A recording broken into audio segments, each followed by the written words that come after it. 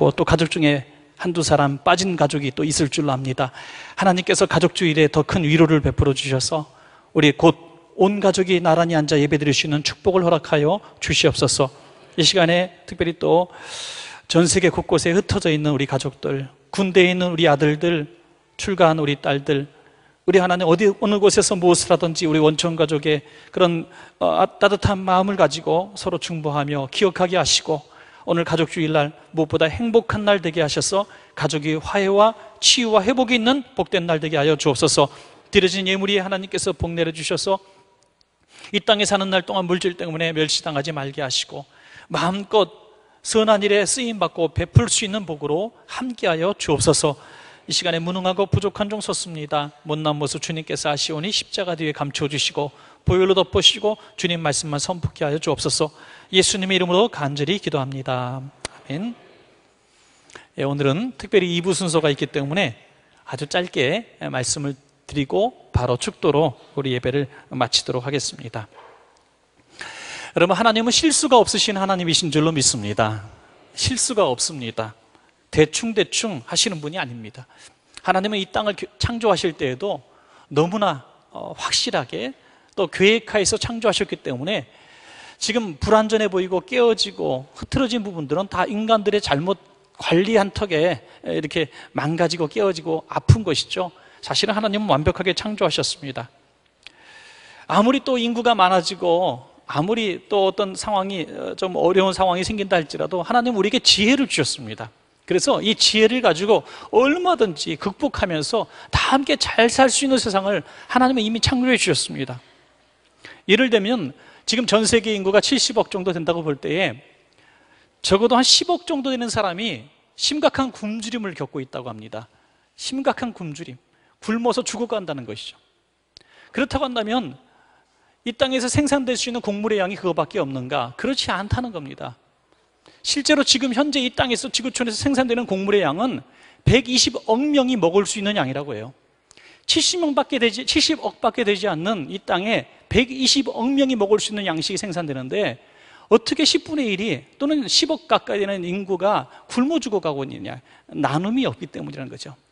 잘 관리하지 못했기 때문에 우리 옛날에 그 인구 포스터 보면은 그 산하 제한 포스터 보면은 사람이 많아서 뚝뚝뚝 떨어졌잖아요 이렇게 그림에 그런데 지금은 그때는 하나 나와 하나 나 잘 기르자 했지만 지금은 세 명 이상 나면 애국자예요 애국자 그만큼 몇십 년 되지 않아도 이렇게 시대가 변하는 게 왜 그랬습니까? 사람에게 하나님은 지혜를 주셔서 얼마든지 같이 먹고 살 수 있고 누릴 수 있는 그런 지혜와 땅을 주셨고 자원을 주셨는데 우리가 너무나 그것을 모른다는 것이죠. 국내에서 버려지는 쓰레기 양도 하루에 1만 7천 톤이라고 그래요. 1만 7천 톤. 어마어마한 양이 버려지고 있습니다. 한 가지 예를 들었습니다만은 이것은 모든 사회 각 분야도 마찬가지라고 생각합니다. 적절한 나눔과 베풀미 있으면 이 땅은 다 같이 잘 살 수가 있습니다. 층간소음으로 다투고 칼부림 나는 이 시대에 살아가고 있고 주차장 문제 때문에 연립주택 가운데 이웃이 원수되고 있는 이 땅에 살아가고 있지만 조금만 우리가 지혜를 가지고 하나만 버리면 다 잘 살 수 있습니다. 잘 살 수 있어요. 그 하나가 뭐냐? 이기심인 줄로 믿으시기 바래요. 이기심만 버리면 우리는 다 같이 잘 살 수가 있습니다. 막 밑에서 어, 아파트에서 떠들고 시끄러워서 밑에 사람이 고통당할 때 올라올 때를 기다리지 말고 명절에 사과 폭탄을 던지는 거예요. 배 폭탄을 던지고 예? 그러면 밑에 층에서 열이 받아서 올라갈래다가도 배가 생각이 나고 사과가 생각이 나서 올라갈 수가 없는 거예요 미리 우리가 이렇게 먼저 베풀면은 다 같이 잘 살 수가 있는데 올라올 때까지 기다렸다가 올라오면 한마디 해서 돌려보내 그러니까 싸움이 나는 거예요 항상 뭐든지 그렇더라고요 정치, 경제, 사회, 문화 모든 교회 내에서도 가족 관계 속에도 서로 이기심을 버리고 먼저 사랑을 베풀면 우리는 같이 잘 살 수가 있습니다 성령님은 하나 되게 하시는 분인 줄로 믿습니다. 성령님은 하나 되게 하시요 사탄은 분열케 하고 깨어지게 하고 망가지게 하고 가족이 깨지고 교회가 깨지고 나라가 분열되게 하지만 성령님은 하나 되게 하신다는 거예요. 평안에 매는 줄로 성령이 하나 되게 하신 것을 힘써 지키라 그랬어요. 여러분 가정과 교회는 하나입니다. 하나. 나라도 하나예요. 우리가 지켜야 되는 것입니다. 우리가 하나로 만들 수 있는 능력은 없다 할지라도 성령님이 하나 되게 하셨습니다. 오늘 본문에 보니까 몸도 하나고 성령도 하나고 부르심이 한 소망 안에서 부르심을 받았고 주도 한 분이고 믿음도 하나고 세례도 하나고 하나님도 한 분이시라 했어요. 여러분 우리는 다 몸도 하나잖아요. 팔다리가 있지만 한 몸입니다. 성령님은 한 분이십니다. 우리의 소망도 하나예요. 주님도 한 분이십니다. 우리의 구원 얻는 믿음도 하나고 우리는 세례를 받았던 침례를 받았던 같은 세례를 받았습니다. 하나님을 한 하나님을 한 아버지라고 부르고 있습니다. 이분이 하나님 아버지 하고 나도 하나님 아버지 하는데 둘이서 원수 맺어. 그러면은 이것은 가족이 아니라는 거죠. 우리 교회 안에서 또 모두가 한 하나님을 아버지라고 부르는 우리는 한 가족이 된 줄로 믿습니다. 그래 문석진 청장님도 저하고 가족이잖아요. 성이 문씨기도 하지만은 제 아들 이름하고 똑같아요. 문석진 청장님이. 예.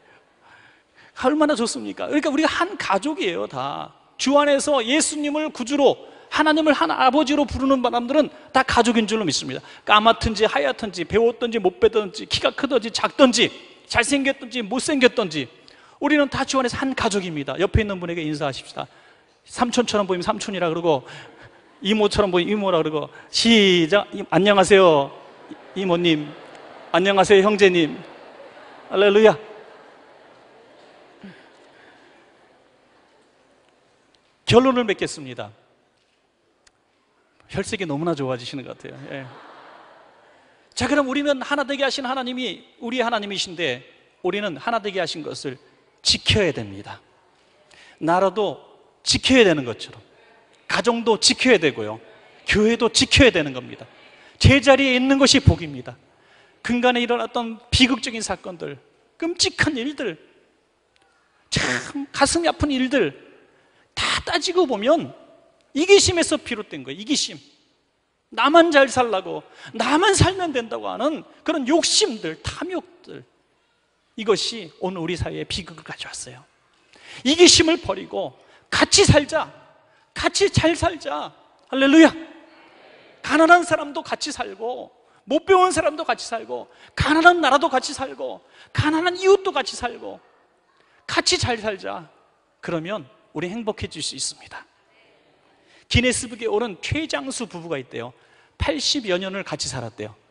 왜? 지겨우세요? 그러니까 80여 년을 같이 살았어요. 그래서 어떻게 80여 년을 그렇게 행복하게 잘 살 수 있냐라고 기자가 물어보니까 딱 두 마디 했대요. 두 마디. 이것만 잘하면 오늘 설교 끝이에요.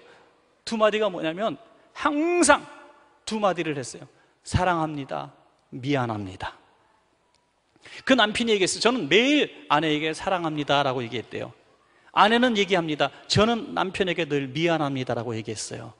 여러분 집안에 교회에 마찬가지라고 해요. 직장도 저는 마찬가지라고 생각합니다. 수많은 갈등, 분열, 탐욕과 이기심으로 깨어진 그런 상황들이 올 때 당황하지 마시고 당황하지 마시고 사랑합니다. 미안합니다. 두 마디만 하면 어떻게 하셨어요? 마지막으로 옆에 있는 분에게 한번 가족이 있다면 특별히 평소에 입이 뻣뻣해져서 못하는 말 사랑합니다. 그죠? 미안합니다. 시작. 할렐루야. 사랑합니다. 미안합니다. 잘하셔서 가정을 지키세요. 교회를 지키세요. 사회도 지키고 직장도 지키고 이 나라 민족도 지킬 수 있는 저와 여러분 되시기를 주의 이름으로 축원합니다. 기도합니다.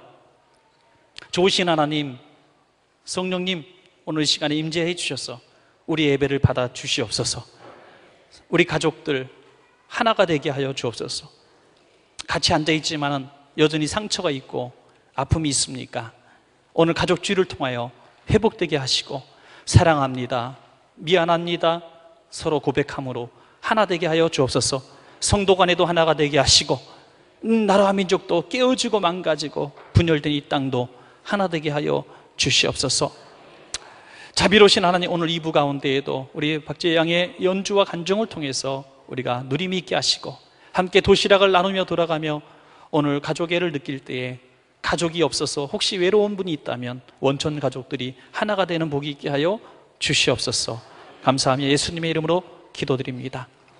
이제는 우리 주 예수 그리스도의 크신 은혜와 우리 아버지 하나님의 무한하신 사랑하심과 보혜사 성령님의 유료교통 내재 충만하심의 역사가 하나 되기를 소망하시는 원천 가족들 위해 이 나라 민족 위에 지금부터 영원토록 함께 하시옵기를 간절히 축원하옵나이다. 아멘.